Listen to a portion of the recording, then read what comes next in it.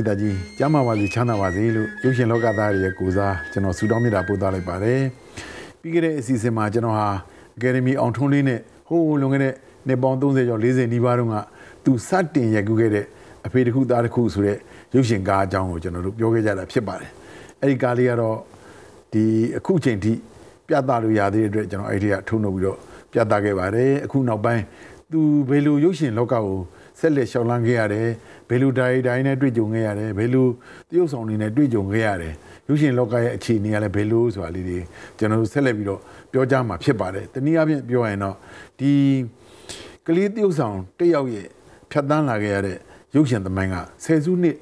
တစ်နှစ်ကျော်လောက်တစ်ခုစာအကျော်လောက်သူဖြတ်တန်းခဲ့ရတာဖြစ်ပါတယ်ဒါကလည်းသူ့ရဲ့ထူးခြားတဲ့အတွေ့အကြုံဖြစ်တာကြောင့်မို့ဒါရုပ်ရှင်သမိုင်းရဲ့အထောက်ထားတစ်ခုကိုကျွန်တော်တို့ ရရှိမှာဖြစ်ပါတယ်တကယ်တော့ရုပ်ရှင်ဟာကျွန်တော်တို့မြန်မာရုပ်ရှင်အနှစ်တရာမပြည့်သေးပါဘူးနောက်6နှစ်လောက်နေမှအနှစ်တရာပြည့်မှာပါဖြစ်ပါတယ်အဲ့တော့ရုပ်ရှင်ရဲ့ဒီ20ကစတာဆိုတော့ရုပ်ရှင်နှစ်90ပြည့်တဲ့အချိန်မှာအောင်ထွန်းလေးဟာတကယ်ကလေးတယောက်ဆောင်နေနဲ့ပေါ်ထွက်လာခြင်းဖြစ်ပါတယ်အဲ့တော့ကျွန်တော်တို့ရွှေရူးရဲ့နောက်ပိုင်းဒီအောင်ထွန်းလေးဒီရှောက်လန်းခဲ့ရတဲ့ရုပ်ရှင်သမိုင်းကိုအခုကျွန်တော်တို့ ဆက်ပြီးတော့ဖော်ကျူးမှာဖြစ်ပါတယ်ဒါကြောင့်ပြည်သက်များကလည်းဒါတို့တော့အားရဂျင်းနဲ့သိမှုရှိမယ်လို့ကျွန်တော်မျှော်လင့်ပါတယ်ခင်ဗျာခသားကြီးဆက်ပြောလိုက်ကြအောင်ဟုတ်ကဲ့ပါဦးစောစောကပြည်သက်ကိုဦးတင်ပြတဲ့အတိုင်းပေါ့လေဒီဒါတွေဟာသမိုင်းတွေပါပဲဟုတ်ကဲ့ပါအဲသမိုင်းတွေကိုဦးတို့သားတို့ကနေပြီးတော့ရှောက်လန်းလာကြတာပေါ့နော်ဆိုတော့ 1920မှာစပြီးတော့ရုပ်ရှင်ကဖြစ်တယ်1980ကျော်တော့မှဦးတို့ရုပ်ရှင်လောကတွေကိုရောက်လာကြတာပေါ့နောက်80ခုနှစ်90ခုနှစ်လောက်ထိအောင်ကိုနော်တကယ်ဆယ်စုနှစ်နှစ်နှစ်စာနှီးပါသားကလည်းကလေးဘဝနဲ့ဖြတ်သန်းလာတယ်ဦးကလည်းဟိုလူငယ်ဘဝနဲ့ပေါ့နော်အဲတုန်းကလူငယ်ละလူငယ်ပေါ့လူလက်ပိုင်းပေါ့အဲအဲ့လောက်နဲ့ဖြတ်သန်းလာခဲ့ကြတော့အဲ့ဒီအကြောင်းလေးတွေဆက်ပြီးတော့ပြောကြအောင်အဲ့တော့ဒုတိယအကယ်ဒမီရသွားပြီအကယ်ဒမီအောင်ထုံးလေးဖြစ်သွားပြီတဲ့နောက်ဟုတ်ကဲ့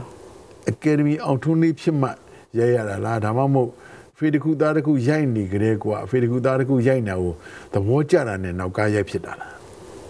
သဘောကျပြီးနောက်ကထက်ရိုက်လိုက်တာပေါ့ဟိုအကယ်ဒမီမရကဲမသေးီဘူးကဲမီတော့မရသေးဘူးဟုတ်လားဟုတ်အဲ့ဒါကဲ့အဲ့ဒီကာနာမည်ကတားနဲ့သွေးပေါ့တားနဲ့သွေးဒါရိုက်တာကဆရာကြီးဦးမျိုးအောင်ပေါ့ဒါရိုက်တာဦးမျိုးအောင်ဦးမျိုးအောင်ကအင်မတန်ကိုဒီဒရမာကားတွေမှာအင်မတန်တမ်းပါတယ်ဟုတ်ကဲ့ဥပမာဆိုတော့ဘေးရဌာနေတို့အဲအဲ့ဒါတွေထင်တယ်တော်တော်လေးပေါ်လေးဟို အကယ်ဒမီတန်းဝင်ကားတွေထိအောင်သူကရိုက်ခဲ့တာဟိုဟုတ်ကဲ့ဟိုနေအောင်သူချစ်တော့ခက်တယ်လားအဲ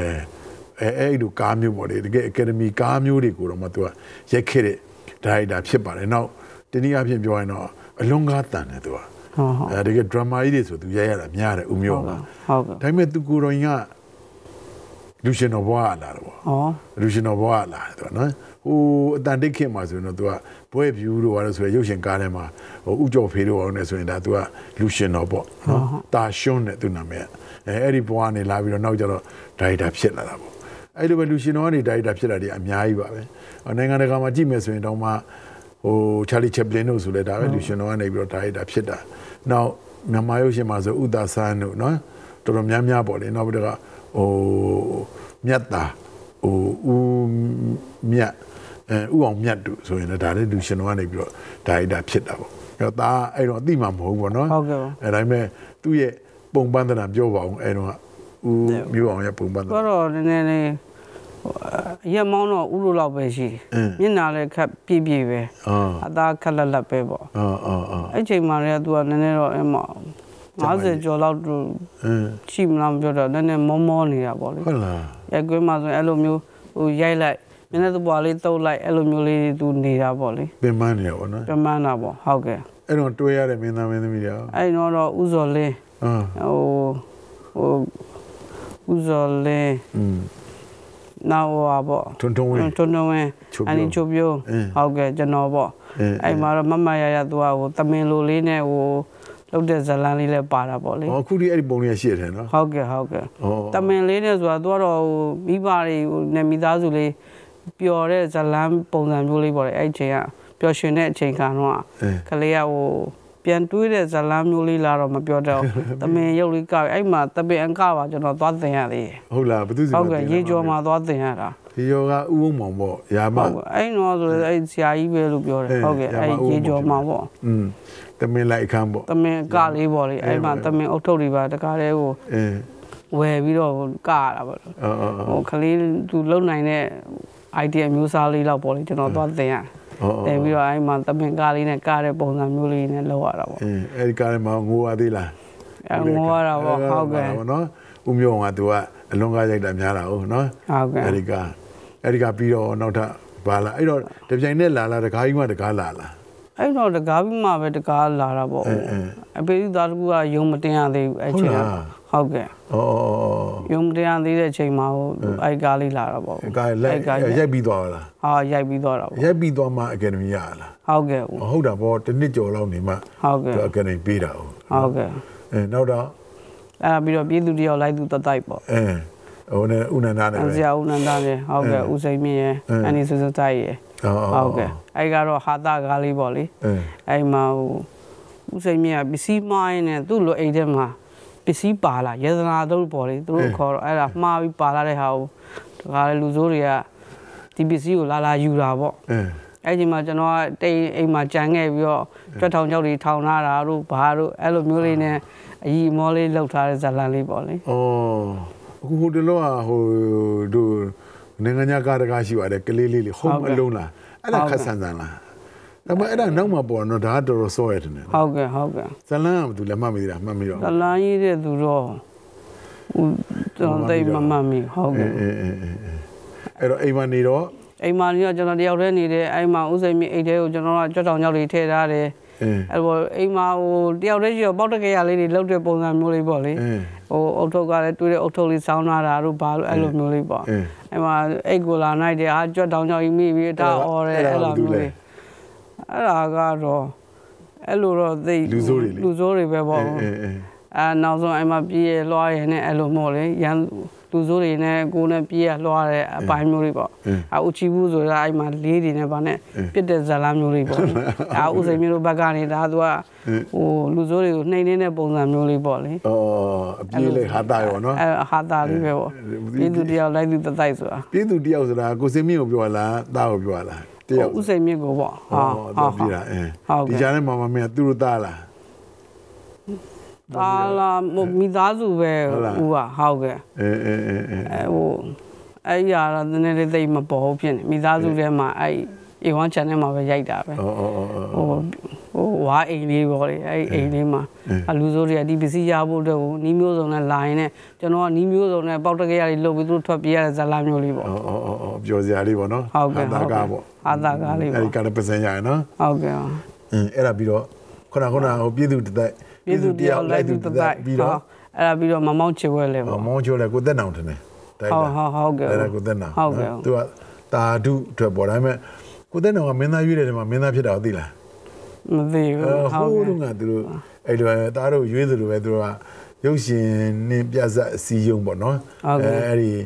ရုပ်ရှင်ပြဇက်အစည်းအရုံးကနေပြီးတော့မင်းသားရွေးတဲ့အထက်မှာကိုသက်နောင်မင်းသားဟုတ် မင်းသားရွေးခံရတာသူအရက်မောင်းလဲအဲထောင်းကောင်းမောတယ်င်းသူကလည်းမောင်းသူချောပဲလीနော်အဲနောက်ကျတော့ဦးအဲဒီတာရုအုပ်စုနဲ့ပေါင်းပြီးတော့နောက်ကျတော့ editing လည်းကောင်းတယ်ဒါရိုက်တာဖြစ်တာပေါ့နော်အဲ့တော့ကိုသက်နောင်ရိုက်တဲ့ကားပေါ့အဲ့ဒီမှာဆိုတော့ထူးထူးဆန်းဆန်းမင်းသားမင်းသားဟိုပါပေါ့မမောင်းချစ်ဝဲလဲဟိုပရိဥဝဇော်တလင်းဥဇော်လင်းဟာနောက်ဟိုပလေးဝန်တန်းနိုင်အင်းအန်ဒီတင်းနေညိုအင်းဟုတ်ပရိဝတနဲ့ဘယ်နေရာပါလားမှတ်မိလားမှတ်မိတော့သူကတော့အဲ့နော်ကတော့ မပြောတော့သူနေရနေတယ်လို့လားမသိအဲ့လူကြီးကနေမှာတော့အဲဟိုတိတ်ရိုက်တော့ရိုက်နေပြီမကိုသိတ်မကြည့်မိဘူးပေါ့အာအာအန်ဒီတင်းနေညိုနဲ့လောက်ရတဲ့ item လေးတွေပါလေးတွေပဲအဲ့မှာအဲမှတ်မိသေးတော့ပြောပါဦးအဲ့ဒီကဘယ်နေရာပါအဲအန်ဒီတင်းနေညိုရဲ့သားအနေနဲ့ပေါ့လေအဲအဲ့ဒီတင်းနေညိုကသူကခရစ်ယာန်လားမသိအဲ့မှာအဲ့လိုမျိုးလေးပေါ့လေအင်းအဲ့မှာကျွန်တော်ကတော့ဟိုဘောပေါ့လေတော့တင်တော့အန်ဒီတင်ညိုရဲ့ဟို ကျွန်တော်အဖေကစစ်ဘူလားပါလားမင်းကျွန်တော်အဲ့တော့စစ်ဘူအုတ်ထုံနဲ့အဲ့ဒါဝါသနာပါတဲ့ပုံစံမျိုးပေါ့လေစစ်ဘူအုတ်ထုံယူနီဖောင်းနဲ့ပါနဲ့အဲ့ဒါမျိုးဟိုအားကြတဲ့ပုံစံပေါ့လေအင်းအဲ့ယူနီဖောင်းတွေမှာဝတ်ပြီးတော့လောက်ရသေးတယ်အော်ဟုတ်ကဲ့အဲ့ဆိုအဲ့အဲ့ဒီပုံလေးကအဲ့ဒီထဲကပုံလေးပေါ့ဟုတ်တယ်ဟုတ်တယ်စစ်ဖို့စစ်ဖို့စုံလေးနဲ့သားတွေ့ဦးတယ်လေဟုတ်ကဲ့ဟုတ်ကဲ့အဲ့မှာသူဒါအဲ့ဇက်ဝန်ထမ်းထဲမှာပေါ့လေဒီလိုအဝတ်စုံနှစ်သက်တဲ့အတွက်အဲ့လိုရှားကြံပြီးတော့အဲ့လိုဝတ်စားပြီးတော့ အဲ့ဇက်ဝန်ခန်းထဲမှာပါတာပေါ့ဦးအော်တဲ့ကမောင်မောင်ချဝဲလေဟုတ်ကဲ့မောင်မောင်ချစ်ဝဲလေဟုတ်ပြီဟုတ်ကဲ့နောက်တကဇောပေါ့ဦးဇောဟုတ်ကဲ့ဇောတော့လိုက်တာမောင်နန္ဒနဲ့ဟုတ်ကဲ့ဟုတ်ကဲ့နောက်ကိုစင်းမြင့်နေပဲလားဟုတ်ကဲ့ဦးစိန်မြင့်ဒေါခင်သန်းနုအဲကောလိဂျနေဝင်းကြီးပါအော်ကောလိဂျနေဝင်ဟုကောတ်လိကဲ့ဂျနေဝင်းနဲ့ဒါစတွဲတယ်ဟုတ်ကဲ့ဒေါခင်အော်သန်းနောက်ဟွာပါသေးတယ်မေယူပါသေးတယ်မေယူကဟုတ်ကဲ့မယူရတော့အကယ်ဒမီမရသေးပါဘူးမရသေးဘူးဟုတ်ကဲ့ဟုတ်ကဲ့မယူကလည်း तू ကလည်းဘေးကလာလဲဆိုတော့ဒီပထမ အတုံပါခုနကိုတက်နောင်တို့ကဟုတ်မကဲ့င်းသားမင်းသမီးယူဝဲရှိတယ်နောက်တစ်တုတ်ကြတော့မေယူတို့အဲဒါဟုတ်ဟုတ်ရွေပွဲကမေမေယူတို့ပါလာတယ်မေယူရဲ့သူညီမသူစားရဲ့ကျော်ဟင်းရဲ့အဲနောက်တစ်ခါကျော်ကျော်ဝင်းတို့ပါတော့အဲ့ဒါတွေပါလာတယ်သူကအော်နော်နောက်တစ်ခါမြင့်စုသင်းတို့ဟုတ်ဟုတ်အဲသူကလည်းဒါရုပ်ရှင်အစည်းအရုံးက မင်းသမီးပဲသူကအော်အာအဲ့ဒါမင်းတော်တော်ဖူးစာဆုံးတာပဲသူကတော့ကျွန်တော်အမေအနေနဲ့ပေါ့လေအဲ့ဇက်ဝန်ခန်းလေးကကျွန်တော်အမေနဲ့ကောလိဂျနေဝင်ကနဲ့မိသားစုပေါ့လေအင်းအဲ့မှာလမ်းမရင်းနဲ့အဲ့မှာရောက်သွားတဲ့အချိန်မှာအဲ့ဟိုဦးစိန်မြင့်နဲ့ဒေါခင်သန်းနုကအဲ့မှာကလေးတစ်ယောက်ကဆုံးသွားတော့ခင်သန်းနုကတာယူယူနေတဲ့အချိန်လေးအင်းအဲ့မှာကျွန်တော်တွေ့တော့သူ့သားလို့သတ်မှတ်ပြီးအဲ့မှာရိုက်ကြတဲ့ ဇလန်းလေးတွေပေါ့ဦးအော်အော်ဆိုကမင်းနာမည်လားဟုတ်လားဆိုကပါလဲဆိုဆိုတော့ဟုတ်မှန်နဲ့တူတယ်ကိုဟုတ်မေကဲ့ကုန်ပြီနော်ဟုတ်ကဲ့အင်းအင်းအဲ့တော့မြင်းကြံစမ်းကြချောင်းလေးမှာရိုက်ကြတာပေါ့လေအဲ့တော့နေဦးသွားရိုက်တာဒါပထမဆုံးပဲလားနေဦးတော့ရိုက်ကြတော့ဟိုပါပေါ့ဦးကဒီသားနဲ့သွေးမာတွေကနေဦးတော့ရိုက်တာပေါ့ဘယ်ဦးသွားရိုက်လဲတန်းနေသူပဲသားနဲ့သွေးကပုတ်ပါပေါ့ဦးဟုတ်လားဟုတ်ကဲ့ဩဟုတ်ကဲ့အင်းဘဘမှာတော်တော်ကြာလာအဲ့တော့ ပုတ်ပါမှာဟုတ်ကဲ့အဲ့တော့ဆိုတော့15ရက်လောက်ကြာတာပေါ့လေအော်ဟုတ်ဘာကဲ့ဖြစ်လို့လဲအဲ့ဒါဘယ်တော့အဲ့ဒီအဲ့ဒီကိုချီတယ်လို့လားသားဒီနဲ့စိတ်ပါလို့ပေါ့နော်ဟုတ်ကဲ့ပါလို့ပေါ့အင်းဟာဟာနောက်တစ်ခုကတခါဒီဇိုကလည်းဟာမြင်းကြံမှာပေါ့မြဟုင်းတ်ကြကဲ့မှာရိုက်တယ်ဟုတ်အဲ့ဒီကဲ့ဘက်ပဲသွားတယ်ဟုတ်ကဲ့ဟုတ်ကဲ့အဲ့တော့နောက်နောက်ကားတကားကဘာတပြန်ကြားတယ်ဟုတ်ကဲ့ပါပြန်ကြားတယ်ပြန်ဇောမှာဘာထူးရတာတွေ့တယ်အဲ့မှာတော့ဟိုပါပေါ့လေကိုအဲ့မှာဥစိန်မြင့်နဲ့ဒေါခင်သန်းတို့ကဒါသူက ဟိုတောထဲမှာကျင်လည်နေတဲ့မိသားစုတွေဆိုအဲ့မှာဆက်အဖွဲ့တွေကလူမိုက်တွေပေါ့လေဟိုလူချမ်းလူချမ်းအဖွဲ့တွေကအင်းအာကျွန်တော်ကိုမိသားစုလိုက်ပျော်နေတဲ့ပုံစံမျိုးလေးပေါ့လေအာကလေးကို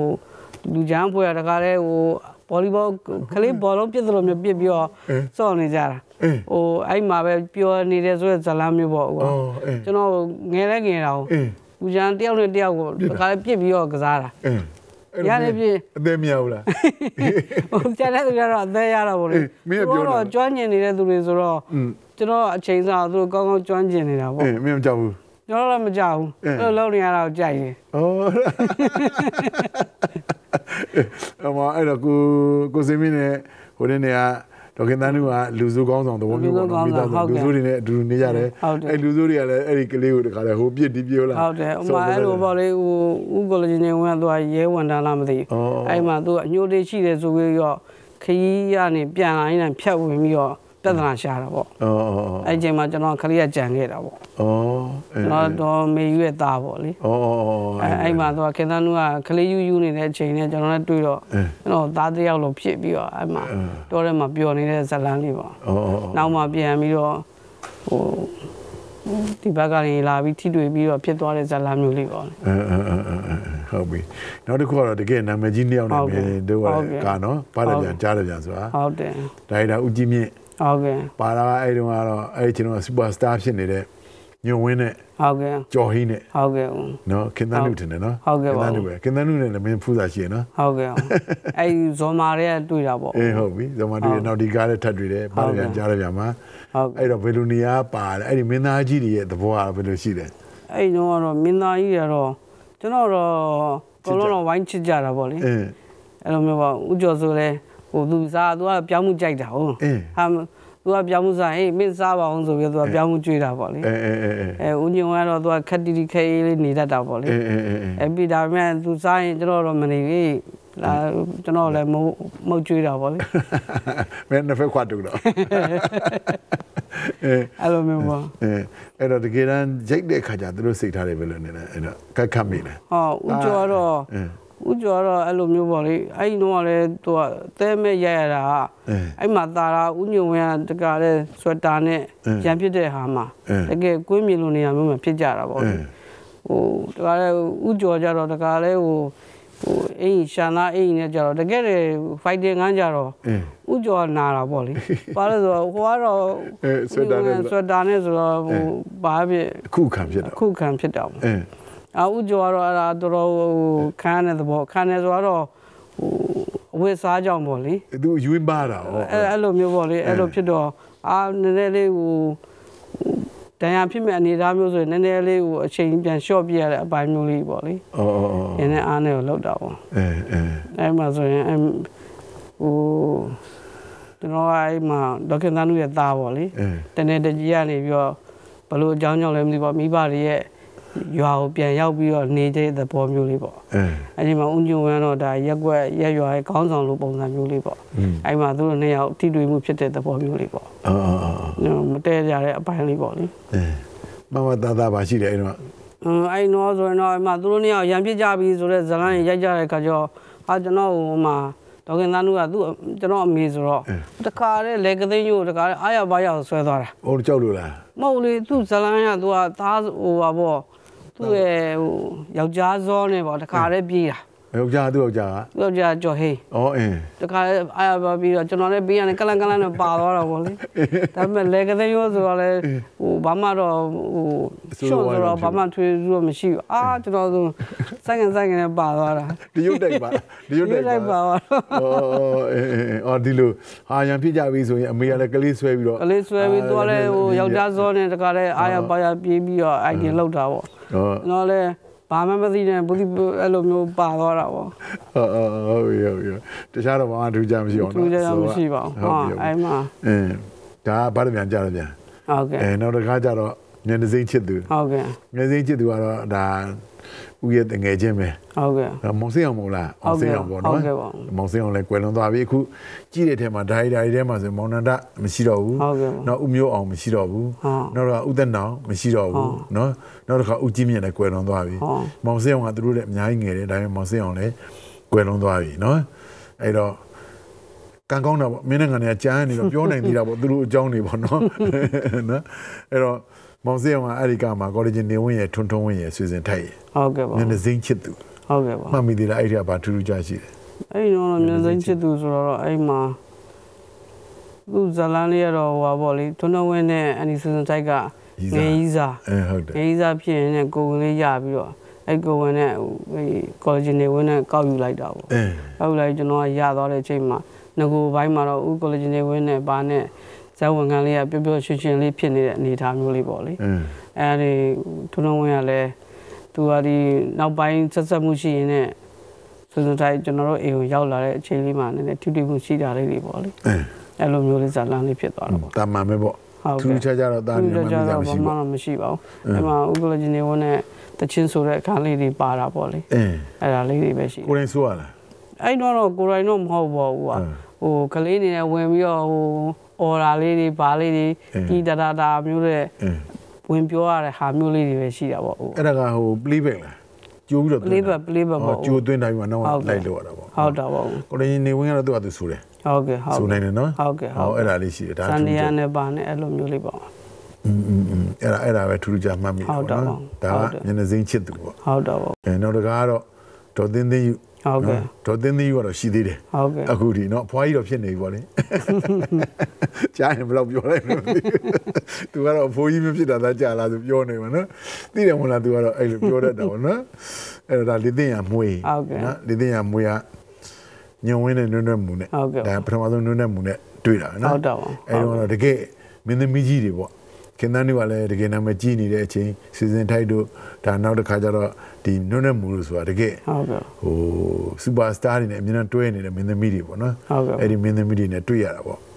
အဲကိုညုံဝင်းကလည်းတကယ်စူပါစတာပဲအဲ့ချိန်လားဟုတ်တယ်အဲ့တော့ဇာလန်လေးမှတ်ပြီးသေးလားလေးတင်ရမွေးဇာလန်းလေးကလည်းအဲ့လိုပေါ့ဟိုဥညုံဝင်းကအဲ့နုံနဲ့မူနဲ့ရပြီးကျွန်တော်ဟိုဟိုကျွန်တော်မှဥညုံဝင်းကဒီကလေးရလိုက်တာကိုသူမသိလိုက်ဘူးလားမသိဘူး မသိလိုက်ပဲနဲ့ဟောကြံနေခဲ့တာပေါ့အော်သူသားတော့သူသားရင်းသူပဲသားပဲဒါပေမဲ့ကျွန်တော်အဲ့မှာတောမှာနေရင်းနဲ့နောက်ဒီကလေးလေးကိုဟိုဆောက်ရှော့ခဲ့တဲ့ဦးလေးကြီးကနေတစ်ဆင့်လာပြီးဥညုံဝင်းရှိတဲ့နေရာကိုလာပို့လိုက်တယ်အင်းဒါပို့လာအဲ့ဥညုံဝင်းရှိတဲ့အိမ်မှာလက်လူလက်တောင်းလေးလှုပ်ရင်းနဲ့နောက်နည်းနည်းမူကနေလာပြီးတော့တွေ့တဲ့အခါမျိုးလေးပေါ့လေအင်းနောက်ပိုင်းမှာကျမှဇက်ပေါင်းသွားတာပေါ့လေဩအဲ့လိုမျိုးလေအဲ့ဒီတော့မမရရဟိုလူတွေမှတ်မိမိတာကတော့ဟို ပန်ကားကြီးအောက်မှာစာရွက်ပုံကိုကျွန်တော်ကကောက်ကင်မိရင်းနဲ့နေအကုန်လုံးလေးတိုက်ပြီးတော့စာရီဘွားလန်ကျက်နဲ့ကျွန်တော်အလုတ်ရှုပ်နေတဲ့ဟာလေးကိုတော်တော်များများမှတ်မိကြတယ်ဩအဲ့ဒီဇာတ်လမ်းလေးပေါ့အင်းအင်းအင်းအဲ့တော့ဆိုတော့မမရရအဲ့တော့အနီတသိန်းယူဟိုကကျွန်တော်ဟိုနည်းနည်းကညာဘက်လေးตาလေးလာတိတ်ပြီးတော့တွေ့တဲ့အခန်းလေးပေါ့လေအင်းအဲ့လိုအမေနဲ့သားနဲ့တွေ့တဲ့အခန်းမျိုးလေးပေါ့အဲ့မှာပထမတော့ ဟိုသူကအဲ့ရတော့နိုင်စင်းပေါ့ဦးကအင်းညနေဘက်လောက်မှာအဲ့ဇလန်နဲ့ပတ်သက်တဲ့ဟာလေးကိုပြောပြအဲ့တော့ပြောပြတော့တော့ကျွန်တော်ကဟိုဇလန်သဘောပေါ့လေ dialogue တော့မပါသေးဘူးပေါ့အဲ့မှာတော့ feeling တွေတက်ပြီးတော့ကိုကမြေတွေပါကြာပြီးတော့အင်းတကယ်တကယ်လဲရိုက်မယ်ဆိုတော့အနီနည်းနည်းမူနဲ့ကြတော့ဟာမူကမတက်လာတော့ဩဟာမူကမတက်လာတော့ဟိုတော်တော်လေးဟို ဟွာပေါ့အနီနည်းနည်းမူကပြန်ထိမ့်ပြရတဲ့အပိုင်းမျိုးလေးဖြစ်တာပေါ့ဩအဲအနီနည်းနည်းမူကကျွန်တော်လည်းစိတ်ကောက်တိုင်းငယ်နော်ဒီကငါအဲ့နော်ကလေအင်းအဲ့လိုဘယ်လိုပံ့ပိုးပေးရတာအင်းအဲအဲ့လိုမျိုးလေးတော့အမြဲတမ်းပြန်ပြန်ပြောပြောပြတယ်တယ်တော့နောက်ကြတော့အင်းပေါ့အင်းအနီနည်းနည်းမူကသိရမှာခါညာကျွန်တော်ကကလေးဆိုတော့ဘာမှမသိပဲသွားပြီးတော့စမိတာပေါ့ဩအင်းအဲ့ဒါဆိုအင်းအင်းနေအဲ့တော့ငါ့ကိုကျေးဇူးမသိဘူးအဲ့တော့အင်းအဲ့တော့ငကိုဇလန်းပြောတော့တော့မူကတက်လာပြီးတော့ တကယ်တကယ်လဲဟိုဟာလောက်တဲ့ခါကျတော့ dialogue တော့ရပါမယ်မူကမရဘူးမလဲလာတော့ဘူးဖြစ်သွားတာအင်းအင်းအဲ့မှာသူကတော့ဘာဖြစ်ဖြစ်ဟိုထိန်ခေါ်သွားတာပေါ့လေနည်းနည်းမူရငန်းနေလို့လားအဲ့တော့အေးအဲ့ပေါ်လေတခါကျတော့လေစိတ်ကဟို ဟိုရင်ပေါ့ concentration မရတာပေါ့နော်ဟုတ်ဟုတ် concentration ရနေတဲ့အချိန်ကြောင့်လေသူ့ဟာသူဇက်ထဲမှာပါသွားတော့ concentration မရတဲ့ခါကျတော့လေဇက်ထဲမဝင်တာမျိုးဖြစ်သွားတော့တခါတခါတော့ဖြစ်တတ်မှာပေါ့နေနော်ဟုတ်တယ်အင်းအဲ့တော့အနီနဲ့မို့တခါညရဘာလို့မို့ကိုကသွားစားမိကိုစားတာမသိဘူးဥမရာဟျောက်မင်းသွားမစားနဲ့အင်းအဲ့ဒါမင်းကိုစိတ်ကောက်နေတာ။အော်မသိပါဘူးအဲ့လိုမျိုးပေါ့။အဲ့မှာအနေနဲ့မနေကငါအဲ့တော့အဲ့လိုမျိုးအဲ့လိုမျိုးလေးပြန်ပြောမိတာလေးတော့မှတ်မိတာအဲအဲအဲ နောက်တခါကတော့ကိုသက်နောင်နဲ့ပြန်တွေ့တာပေါ့နော်ဟုတ်ကဲ့ကိုသက်နောင်နဲ့ပြန်တွေ့တယ်ကိုသက်နောင်ကဒီဟာကတော့ဖေဖေကြီးကိုချစ်တယ်ဆိုတာဟုတ်ကဲ့ပါဟာတာတယ်နော်လား။နည်းနည်းလေးဟိုဟာတော့တော့မဟုတ်ဘူးကွာအင်းပြောပါဦး။နည်းနည်းလေးဟိုဇလန်းလေးကအဲ့အလဲဇလန်းလေးကတော့သိပ်မမှတ်မိပါဘူးအင်း။ငကိုရကဒီမင်းမင်းတော်လည်းပါတယ်ကျွန်တော်ဟုတ်တယ်အဲ့တော့မင်းမင်းတော်လည်းကလေးသေးဦးဆောင်နော်ဟုတ်တယ်အဲ့မှာငကိုရချစ်ချစ်ခင်ခင်ရှိနေရင်ကနေပြီးတော့ဒီပြင်ဘာဇလန်းလေးဝင်မိလို့လည်းမပြောတော့နည်းနည်းလေး ဟိုမိသားစုတွေမှာပြိပကလေးရှိပြီးတော့မှနောက်ပြန်ပြီးတော့ပြည်လေတော့ပြည်လေသွားတဲ့အပိုင်းပေါ့လေအော်အားလုံးကအဲ့မှာကန်တော်ကြီးပန်းညံထဲမှာဟိုရိုက်တဲ့ရိုက်ကွင်းလေးလည်းပါတယ်ပေါ့အဲ့မှာပြပြယူချစ်တယ်လို့ပါလို့အဲ့လိုမျိုးလေးပြောပြတဲ့ဇလန်းလေးတို့ဖြစ်သွားတာပေါ့အေးဟိုတချင်းပေါ်မှာအခြေခံလေးလားခံမလို့ ဖေဖေခံကြီးဖေဖေကြီးကိုချစ်တယ်ဆိုတာအဲ့ကြတော့သုံးလားမသုံးလားတော့မမှတ်မိဘူးဒါပေမဲ့အဲ့ကန်တော်ကြီးပန်းညံမှာမိသားစုလိုက်ပြောတဲ့အခန်းလေးတွေပါလေးတော့ပါတယ်ပေါ့အော်အော်အော်အော်အဲ့မှာဟိုမိဘဟိုငကောတော့သူနှစ်ယောက်အတဲ့တဲ့ပုံစံမျိုးလေးဖြစ်ပြီးအားလုံးသားသမီးတွေမိသားစုတွေပျော်သွားတဲ့ပုံစံမျိုးလေးပေါ့အင်းအင်းအဲဒါမှပဲပဲယူချစ်တယ်ဆိုပြီးတော့ကျွန်တော်ရဲ့မင်းမင်းတော့အဲ့ဒါကတော့ခုနဒီထက်ဆိုဘယ်သူရှိမလဲဆိုအကုန်လုံးလို့လို့ ရှိသေးတယ်ပေါ့မင်းမင်းတို့ကအခုဘယ်ရောက်သွားတယ်ရှိသေးလားသူလည်းရှိသေးတယ် good light မှာရှိသေးတယ်ဟုတ်လားဟုတ်ကဲ့ဝရတယ်လို့တော့ပြောတယ်ကျွန်တော်ဝါတယ်တို့ကနောက်ပိုင်းမတွေ့ပြဘူးအဲ့ဒီနေပါရောအိမ်တော်နေပါကြောက်ရောပေါ့မသိဘူးကြားမှန်းနဲ့တူတယ်ကျွန်ဟုတ်တော်လားမင်းပြီးမင်းကတော့လူမျိုးကြီးမလားဟုတ်ကဲ့ပါအေးကောင်းပြီနောက်တကားကတော့ဟုတ်ကဲ့ပါဒါရိုက်တာရှိသေးတယ် တက်မောင်မောင်ဆိုဟုတ်ကဲ့နော်ကိုနိုင်ဟုတ်ကဲ့ပေါ့သူကတော့ကိုနိုင်လို့ခေါ်တာမင်းတို့လည်းဟုဥတ်ကဲ့နိုင်လို့ခေါ်လားဟုတ်တော့ဥသက်မောင်မောင်လားဘယ်လိုခေါ်လဲဟိုဦးနိုင်လို့ပဲခေါ်ဥတာနိုင်လို့ခေါ်တာပေါ့နော်လူကဆန္ဒပြေပါစေဟုနော်တ်ကဲ့ဟုတ်ကဲ့အဲ့တော့အဲ့ဒါကလူကဆန္ဒပြေပါစေကအဲမှတ်မိသလားအဲ့ဒါဥပစာညွန်ရေးပေးလိုက်တော့ပေါ့ဟုတ်ဟုတ်လူကဆန္ဒပြေပါစေမောင်မောင်ဥက္ကလာရဲ့အော်ဝဟုတ်တ္ထုလေးဟာဟာအဲဟိုတင်းနေရုပ်ပြဝတ္ထုလေးအဲ့ဒါလေးကိုဥကနေပြီးတော့ဇာညွန်လေးရေးပေးလိုက်တော့ကိုနိုင်တို့ရိုက်ကြတာပေါ့ ရိုက်တဲ့ခါကျတော့အောင်အောင်ရဲ့မင်းမင်းမောင်ရဲ့တားရဲ့ပေါ့ဟုတ်ကဲ့အဲ့တော့မှန်ပြောရင်တော့ဥကမေ့တော့မေ့နေပြီအဲ့ဒီသလားဟုတ်ကဲ့မေ့ရမှတ်မိသေးလားအဲ့တော့တော့သူကဘယ်လိုလဲဆိုတော့ကျွန်တော်ကအဲ့ဟိုဘယ်လိုလဲဆိုမင်းသမီးပေါ့ကျွန်တော်တော့ဟိုအောင်အောင်ရဲ့ငယ်ငယ်ရရိုက်ရတဲ့အခန်းလေးပေါ့အင်းဟိုမင်းသမီးကတော့အဲ့ကျင်ကအင်ကြီးရှင်ပေါ့လေအင်းသူတတိမိသားစုအိမ်မှာကတ်နေရတဲ့ driver ရဲ့သားလေးအနေနဲ့လားမသိဘူးအဲဟုတ်တယ်ဟုတ်တယ်ဟုတ်တယ်ဒါပေမဲ့ဟိုပါပေါ့ ကျောင်းသွားရင်တော့အဲ့သေးသမီးကလည်းကျွန်တော်လူစားတဲ့မုတ်လေးတွေပေးပါပေးပေါ့လေအဲ့လိုမျိုးကိုယ့်ဘောမှာတာယောစင်ရှိပြီးတော့ကျောင်းသွားတာတို့ဘာလို့ရှိတာပေါ့လေအဲ့ချိန်မှာအဲ့နောက်ဆုံးအဖေကရင်ချက်ပန်းတာလို့ပုံစံမျိုးလားမသိဘူးကျမကြီးမကောင်းမင်းနဲ့ဆုံးသွားတာပေါ့လေအဲ့မှာရိုက်တဲ့ဇာလန်လေးပေါ့လေအဲ့ကိုတော်လိုနေရာမျိုးလေးမှာထားပြီးရိုက်တဲ့ဇာလန်လေးဟောအဲ့ဒါလေးမှတ်မယ်ဥက္ကတော်တော်ကိုမေ့သွားတာအဲ့ဟုတ်ကဲ့ပြီးတော့မှဟို မေဝင်းမောင်ပေါ့လေမင်းသမီးကမေဝင်းမောင်ကမမီတော့ကတော့အဲ့လိုပေါ့သူ့ကိုလိုက်ကြိုက်တဲ့ကောင်လေးအဲ့နောက်ချက်တဲ့ကောင်လေးဟိုနဲ့အဲ့ဒါရန်ကိုပေါ့လေအောင်ကနေကဲတင်ပြီးတော့နောက်ပိုင်းဇပောင်းကန်းလေးဖြစ်သွားတဲ့သဘောမျိုးလေးပေါ့အာလူဝဆန္ဒလူဝဆန္ဒပြပါအပြနောက်ဆုံးတော့အပျော်လေးနဲ့ပေါ့နော်ဟုတ်ကဲ့ငေတန်ရောစင်လေးတွေပေါ့ဟုတ်တယ်နိုင်ရဲ့တဘာဝကလည်း तू ကဒီလိုနုနုညံ့ညံ့မေတ္တာပွဲလေးတွေ तू ရိုက်လေးရိုက်ဟုတ်ရတယ်ရှိတာပေါ့နော်ဟုတ်ကဲ့အဲ့ဒါကတော့ လူဝဆန္ဒပြပါစေတက်မောင်မောင်နောက်တစ်ခုကတော့ကိုယ်သွေးသူသားဟုတ်ကဲ့နော်ရိုက်တာကရိုက်တော့ဥစောထက်ကိုစောတက်ကိုစောတက်ကြီးကတလောကဆုံးသွားပြီသိရနော်ဟုတ်လားကိုစောတက်ကြီးဆုံးသွားပြီနော်အဲ့ဒီကားလေးလည်းပတ်စံတော်တော်ရတာဟုတ်ကဲ့အဲ့ဒါဒေါ်သင်းသင်းယူလို့ဆီကနေရိုက်တာနော်ဟုတ်ကဲ့ဟုတ်တယ်မလားဒေါ်ဟုတ်သင်းတယ်ယူလို့ထုတ်လုပ်တဲ့ကားဟုတ်ကဲ့ကျော်ဟင်းရခင်သန်းနုရဟုတ်ကဲ့ခင်သန်းနုနဲ့တွေ့ရပြီဟုတ်ကဲ့သုံးလမြောက်ဟုတ်ကဲ့ ဒီရဆွဲသေးလားပြောပါဦး မဆွဲတော့ အဲ့ဒီကားပဲနဲ့နေလဲ အဲ့တော့တော့ဥကျော်ကငကိုဝဲပေါ့ အင်း အဲ့တော့သူကတော့ဟိုပါပေါ့လေကိန်းကြီးကိန်းကြီးဟာရုပ်လေးနဲ့ပတ်သက်တဲ့ဟာလေးဇတ်လန်းလေးကိုပါတာပေါ့လေဟိုမင်္ဂလာဦးလားနှစ်ယောက်ကြိုက်ထားခဲ့တဲ့အချိန်တုန်းကကိန်းကြီးကိန်းကြီးဟာရုပ်လေးလဲထားခဲ့တဲ့ဟာလေးကတမိုင်းเจ้าလေးနဲ့ပါပြီးတော့နောက်အဲ့ဒါလေးကိုပြန်ပေါ်တာလားမပြောတော့ဘူး မေးသွားပြီဘာလဲမေးလောက်တာ ဟိုသူကဟိုငကိုဝဲဆိုမဲ့ဥကျော်က ဟိုပါပေါ့ဟိုအရင်အိမ်တော်နဲ့ဟာမင်းသားတယောက်ဟိုဥကျော်ပဲပေါ့အင်းနောက်အခုထပ်ပြီးတော့မင်းသားဟိုနဲ့ထပ်တွေ့တဲ့ဟာပေါ့อืมအဲ့ဒါမျိုးကဥကျော်ပဲပေါ့အင်းဥကျော်နှစ်ကိုပဲပေါ့အော်နံပါတ်ပေါ့မှန်တော့အနှစ်ဘဝပေါ့အဲ့ဟုတ်ကဲ့တစ်ဘဝတည်းတော့အမဟုတ်ရင်ဘူးရေးစားဟိုပါပေါ့အင်းနံပါတ်ပေါ့နော်ဟုတ်ကဲ့အင်းအင်းအင်းအဲ့မှာနောက်ဆုံးအဲ့ကိန်းကြီးကိန်းကြီးရုပ်လေးကိုနဲ့ပတ်သက်ပြီးတော့မှအဲ့ကိန်းကြီးကိန်းကြီးရုပ်ရဲ့အောက်မှာသူကနာမည်လေးတွေပါတယ် အင်းအဲ့နာမည်လေးနဲ့ပတ်သက်ပြီးတော့မှဟိုပို့ပြီးတော့အကြောင်းဆုံးသိသွားတဲ့ဇာတ်လမ်းလေးနဲ့တူတယ်အော်ဟာအေးဘောတော့ပဲမှန်ပြီကလေးရှိတယ်။ဟောနော်သူကအဲ့ဒါကြောင့်မို့ကိုယ်သွေးသူသားဆိုတဲ့ဇာတ်လမ်းမျိုးလေးဖြစ်သွားတော့ပေါ့အော်အော်အော်အော်။အဲ့ဟိုနောက်မင်းသားတယောက်ကလည်းဟိုခဏနုနောက်ဟိုတခါလည်းပတ်စကားတက်စင်မှာနောက်ကလိုက်အဲ့တော့တော့ဟိုဦးမြမောင်ကဒါဟိုဟာနဲ့ဥကျော်ရဲ့နောက်လိုက်ပေါ့အဲအဲ အဲ့တော့မျက်မှောင်တို့နေဝင်းတို့စိန်တန်းတို့။ဟုတ်တယ်ဟုတ်တယ်ဟုတ်တယ်ဟိုမြဦးမြမောင်တော့ပါတာပေါ့အဲအဲ။သူကဥကျော်ရဲ့နောက်လိုက်ပေါ့အင်း။သူကသူကဇက်ဖို့ပေါ့လေအဲ။အဲခဏနုသွားတဲ့နောက်လိုက်ပိုးတဲ့အခန်းလေးတွေလည်းပါတာပေါ့အော်အော်အော်ဒါ။အဲကိုကိုသွေးကိုယ်သွေးသူသားဟုတ်ကဲ့ကိုစောတက်ဟုတ်ကဲ့အဲနောက်ထပ်တစ်ခါဟာတာကားလေးတစ်ခုပေါ့ဒီဒါရိုက်တာကြီးတွေနဲ့တော်တော်တွေ့ရတာနော်ဟုတ်ကဲ့ဒီတစ်ခုကတွေ့ရတော့ ဒါရိုက်တာမောင်တင်ဦးပေါ့ဟုတ်ကဲ့နော်မောင်တင်ဦးနဲ့တွေ့ရတယ်ဟုတ်ကဲ့တော့မင်းသားကလည်းအဲ့ဒီအချိန်မှာစန့်တက်နေတဲ့မင်းသားဟုတ်ကဲ့ကိုဇော်ဝမ်းနဲ့ဟုတ်ကဲ့နော်ကိုဇော်ဝမ်းနဲ့တွေ့ရတဲ့ကားပြောပါဟုတ်ဦးကဲ့အဲ့ဒီကားကြောင့်ပြောစရာလေးငါအဲ့ကြည့်အဲ့ဘူးလေကတော့အဲ့ဒါတော်တော်လေးကိုပြောရတယ်။ဘာလို့လဲဆိုတော့ဒါအန်ဂျော်လိုလည်းစပယ်ဥဖွဲ့နဲ့အကုန်လုံးကျွန်တော်တို့ကရင်းနေပြီလားသွားလာပြီးတော့အဲ့လိုမှပေါင်းလောင်းချောင်းလေးမှာရိုက်တာလေအဲ့ကားလေးကဟုတ်ကဲ့အော်ပြင်မနာပဲရောက်သွားတာပေါ့ပြင်မလားပေါင်းလောင်းချောင်းမှာဟောရိုက်ကြတယ်အင်းအဲ့တော့အကုန်လုံးအုပ်စုနဲ့အိမ်တော်လည်းကလေးတယောက်ဆောင်တွေရွေးပြီးတော့မှအဲ့ လင်္ကာရလောက်ပါတဲ့ဟာနဲ့အားလုံးရဲကောင်းလေးများဆိုပြီးတော့အင်းမှတ်မိသေးလားအဲ့ဒါလေးဟုတ်ကဲ့အင်းအဲ့ဒါဂျတော့ပန်ခေတ်ကိုရိုက်တာဂျပန်ခေတ်ကိုပေါ့ဟုတ်ကဲ့ဇော်ဝမ်းဟို လေဒီနဲ့ခုံစင်းရင်းနဲ့ခြေောက်နာရင်းနဲ့အင်းကျွန်တော်တို့အဖိုးဘွားအိမ်ရောက်တာပေါ့အဲဘိုးဘွားဘုဘကိုအာဘိုးဘွားကိုဘာကျွန်တော်တို့အရင်က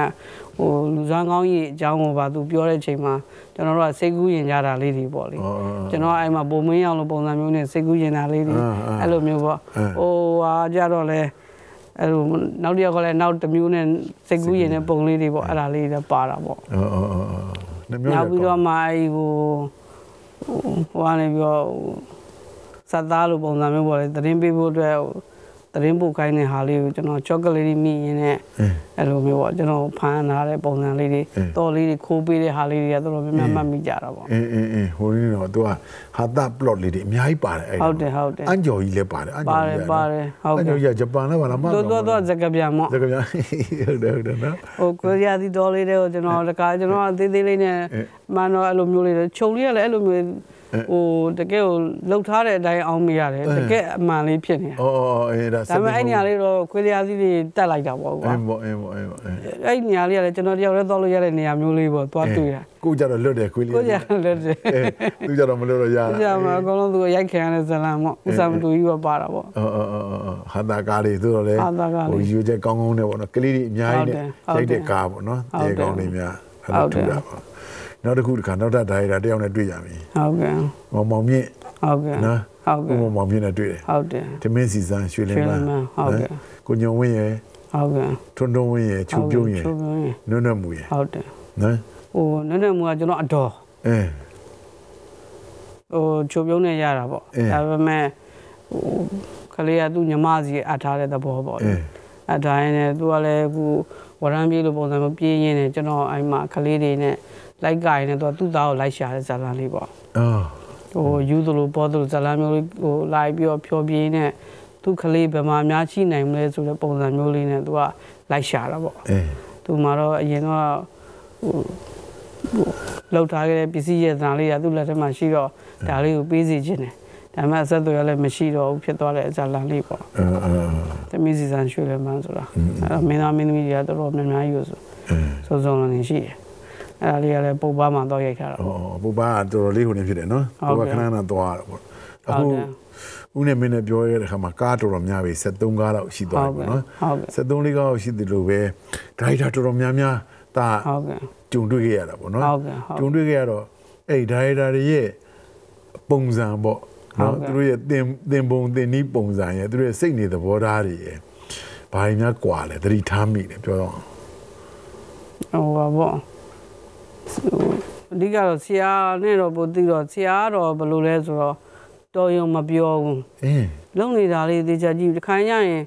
သူကြိုက်နေတဲ့ဟာဒီခါကျရင်ကိုလောက်တာများမှားနေသလားဆိုပြီးတွေးမိတယ်ပေါ့အင်း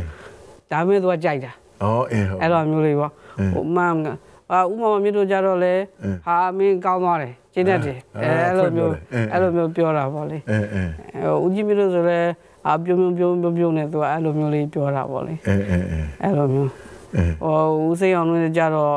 ဟိုသူကဘယ်လိုလဲဆိုတော့လူကြီးဟိုဒရိုက်တာကြီးတော့မဟုတ်ဘူးအဲ့တော့ဆိုရင်တော့အသက်ခက်လက်လက်ပဲပေါ့ အင်း တော့တော့ညီကိုလိုပုံစံမျိုးရင်းနေနေနဲ့အဲ့လိုမျိုး ဟုတ်တယ် ပြောတာမျိုး သူကလူလဲခင်တတ်တယ်လေစိတ်အောင် ဟုတ် တဲ့ တယ် ဘောက ဟုတ်တယ် ဘယ်လိုခင်တတ်လဲဆိုတော့ဥစဉ်အောင်အကြောင်းကိုဥကပြောအောင်မယ်တငယ်ချင်းပါပဲเนาะတငယ်ချင်းနဲ့တငယ်ချင်းဆရာလဲဆရာပါပဲသူကလည်းဟိုဥရဲ့ ဆရာနေရာလို့ပါရပါတယ်ဘာလို့ဆိုတော့သူ့ကိုဇာညွှန်းရေးပေးတယ်သူ့နောက်ကနေလိုက်ပြီးတော့ဟိုကရိုက်ပေးရတဲ့ကားလေးတွေရှိတာပေါ့နော်သူ့ကိုကူညီပြီးတော့အဲဒါမှမဟုတ်သူ့ရဲ့ assistant အနေနဲ့ရိုက်ရရိုက်ရရိုင်းနဲ့ပညာရွေးတာရှိတော့သူနဲ့စတွေ့တဲ့အားလေးပြောပြမယ်သူနဲ့ပထမဆုံးစတွေ့တဲ့ခါကျတော့ဥကအဲ့မှာပထမဆုံးရုပ်ရှင်နဲ့လိုက်တဲ့ခါကျမိထားနဲ့သွားကြသွားတဲ့ခါကျတော့သူ့ကဒါမောင်စိတ်အောင်ပါတယ်ဟာဒါကတော့ဒီစုထုံးပေါ့ဘာညာဆိုမိတ်ဆက်ပေးပြီး9မိနစ်တော့လဲကြာရောတလား အဲ့ရထားမှာ9မိနစ်တော့လဲကြာရောဥပနတ်ပြောက်သွားတယ်ဩဥပနတ်ပြောက်သွားတယ်လားသူနဲ့ဦးနဲ့ကိုမိတ်ဆက်ပေးတာ9မိနစ်ပဲရှိတယ်ဥပနတ်ပြောက်သွားတာအဲ့လိုဟိုခင်းစရာကောင်းတော့မသူကတခါတည်းဟိုငယ်ပေါင်းကြီးဖို့လို့သူကဆက်ဆံတတ်တော့အခုဒီမှာဆိုရင်လည်းဒါအဲ့လိုဖြစ်မှာပေါ့နော်သူကလည်းငကားမွေးဆဆန်နေ तू ကဒါတကယ်တမ်းကျတော့တော်တယ်တော်တယ်ဆိုတာဘယ်ကထွက်လဲဆိုတော့မိုးရုပ်ရှင်ကထွက်တာမိုးရုပ်ရှင်ဆိုတာဥကျော်ဆွေ ဥကျော်ဆွေကဒါရုပ်ရှင်လောကမှာဆိုရင်အင်မတန်ကိုဒါချီးကျူးစရာကောင်းတဲ့ဟိုတရုပ်ဆောင်ပိုင်းမှာရော directing ပိုင်းမှာရောဓာတ်ပုံပညာမှာရောတကယ်လေးစားရတဲ့ပုဂ္ဂိုလ်ပေါ့အဲ့ဒီပုဂ္ဂိုလ်နဲ့တော့တွဲလာတာမောင်စင်းအောင်ကဟောအဲအဲ့ဒါကြောင့်မို့ तू ကလည်းဟိုတော်ပါတယ်ပညာတော်တယ်အဲခုနကလိုတခါကျတော့ဟိုပျော်တာပျော်တာများတယ် तू ကသူကဟိုအရွယ်ကတော့ကိုယ့်အကိုအရွယ်လောက်ပဲရှိတာဟုတ်ဆိုတော့ပို့ပြီးတော့အင်းဟိုဘော်လာလို့သူကအရင်နေနေပြောတာမျိုးနဲ့ဟောတာလို့နေရတော့ဗောနော် အဲ့တော့ဒါရီဒါရီထဲမှာဒေါ်သိန်းသိန်းကိုကြတော့အာအန်ရတော့အဲအဲ့လိုမျိုးပေါ့အဲဟိုသူအော်ကဝလရည်းတဲ့ခါတလေအဲအော်ရမသူကဘာဖြစ်တယ်ကြပြီလေအဲ့လိုမျိုးလေမင်းပစီပစများလို့ပြောနေတာလားပို့သူအဘောကျွန်တော်လည်းချစ်ပါတယ်အေးအေးအေးပြောတတ်တယ်ဘာဖြစ်အဲ့လိုမျိုးလေးပေါ့လေဟဲ့ဘာဖြစ်တယ်ညာဖြစ်တယ်အဲ့လိုပြောတာအဲ့ဗောလိုနော်မျိုးသူစိတ်ထဲရှိတဲ့ဟာလေးကိုအေးအေးအေးပြောတတ်တာပြောစရာပေါ့အဲ့တော့ဒီတစ်ပတ်တော့ ဒါရီတာတော်တော်များလဲများသွားပြီကားကြီးလည်းတော်တော်များသွားပြီနော်ဟုတ်ကဲ့ဟိုတစ်ပတ်ကတော့လူတို့ကဟိုအဖေတစ်ခုသားတစ်ခုနဲ့ပဲဒီတော့ဆိုတော့ဆယ်ကားကျော်ကျော်တော့တခါထပ်ပြောပြီးတော့ဒါရီတာတွေရဲ့သဘောနော်တရုတ်ဆောင်နေတဲ့သဘောထားကြီးလည်းတော်တော်လေးသိရပါပြီနော်အဲ့တော့ဒီတစ်ပတ်အချိန်နဲ့စီးသွားတော့ဒီလောက်နေရက်တာပြီးတော့နောက်တစ်ရက်ရသေးတယ်မလားကားတွေဟောကြည့်ပါသေးတယ်ငါနဲ့ရိုက်တဲ့ကားတွေကိုရှိသေးတယ်ငါပြောအောင်ငါတော့လားအဲ့တော့နောက်တစ်ပတ်ကျတော့မှသူ တို့တွေ့တဲ့ဟာလေးတွေရပါလေတို့ရဲရတဲ့ကားတွေအကြောင်းလဲပြောကြအောင်ဒီတစ်ပတ်တော့ဒီမန်နေဂျာနာပြီးတော့ပြေးတက်ကုန်နှုတ်ဆက်လိုက်ပါအားလုံးမင်္ဂလာပါအားလုံးကျေးဇူးတင်ပါတယ်နောက်တစ်ပတ်ကျွန်တော်နဲ့အောင်ထုံးလေးနဲ့ဆက်ပြောမယ့်အားလေးတွေကိုနားထောင်ပေးပါအောင်လို့ပြောကြရင်လည်းဒီတစ်ပတ်ကျွန်တော်ညီကုန်းချုပ်လိုက်ပါတယ်ခင်ဗျာကျေးဇူးတင်ပါတယ်အားလုံး